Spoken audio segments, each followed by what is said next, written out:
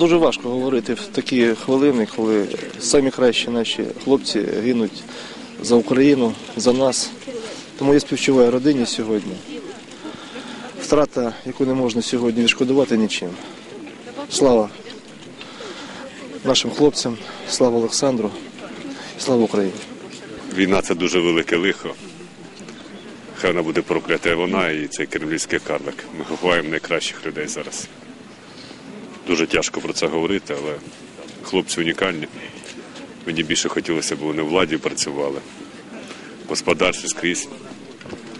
Треба прикласти максимум зусиль, щоб це все припинити. Завтра в Кремчузі ховаю товариша, яким я- з яким я був там теж.